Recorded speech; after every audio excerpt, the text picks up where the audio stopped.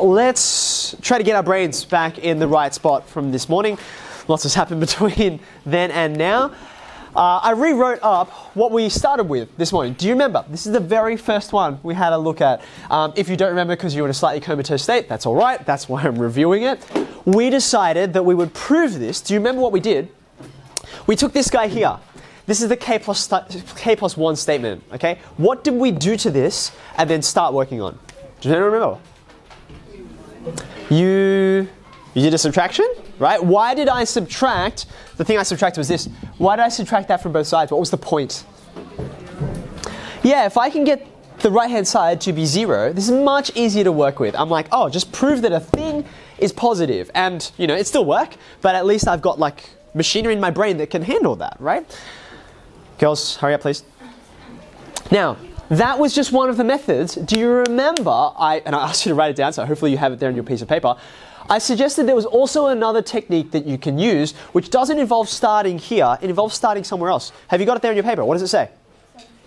Begin from the assumption. Begin from the assumption. That's this guy here, okay? So, as Jacob so enthusiastically read out, we're going to begin right away by just writing down 2 to the k is greater than k, k squared. 2 to the k is greater than k squared. We're going to say this is by assumption. And now, this is what we're going to work on, okay? Now, the reason why I showed you the other method before is because I think it's slightly easier. You'll probably get to the end of this and think, huh, why do we have this extra method? I will explain that, but let's think about what we can do with this, okay? Here's my starting point. Where I want to end, my final line should be this. That's where I'm trying to head, okay? So can someone suggest to me what might be the easiest thing I can do to start myself on the road to get from this to make it look something like that? Any suggestions? What do you reckon, Daniel? Multiplying both sides by 2. Multiplying both sides by 2 would be a great idea because from our index laws, right, we know that multiplying this by 2 puts that k plus 1 up the top. That's good. And then we've got the left-hand side sort of done, and I can forget about it. That's really nice. Can we go ahead and do that, right? I'm going to multiply the left-hand side by 2. So I'm also going to multiply the right-hand side by 2. Okay. Now, you've got 2k squared there, and have a look, as with all induction proofs, not just inequalities, you should always have one eye on your working and then one eye on your destination. Where are you headed? Where are you trying to get to? This is where you're trying to get to. Okay? Have a look at it. How many k squareds will be in there once I expand it out? How many? Just the one, right? And I've got like a spare here, right? So here's what I'm going to do. I'm going to break this apart into, well, here's the one that I want, and then I've got like some extra stuff, right? Now, I don't want this actually to be k squared. I want it to factorize and look like this.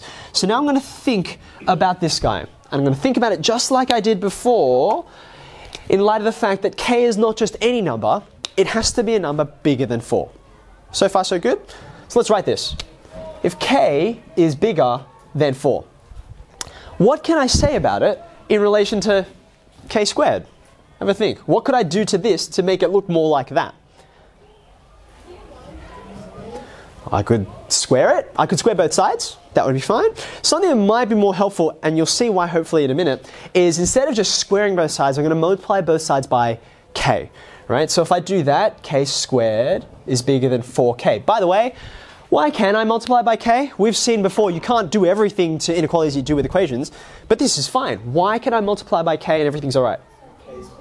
Thank you. K is, K is positive. It's, it's an integer, but it's got to be bigger than zero, right? So it doesn't break my inequality here, right? And let's use that trick that we did before. Do you remember? As we go further down, because the left-hand side, this guy, is bigger than this, I can keep on making the right-hand side smaller and smaller and smaller, and everything is still okay, yeah? So if k squared is bigger than 4k, I'm going to swap that k squared for something smaller, okay? Are you following the logic so far? This is my, like my 100 and this is my 40, 50, 99. That's what I was doing, right? They're all the same. So I've got something bigger, something smaller, the inequality is still all right. This is closer to this. How many k's will there be in this thing once it's expanded? Two of them, right? I'm going to need this side of the board.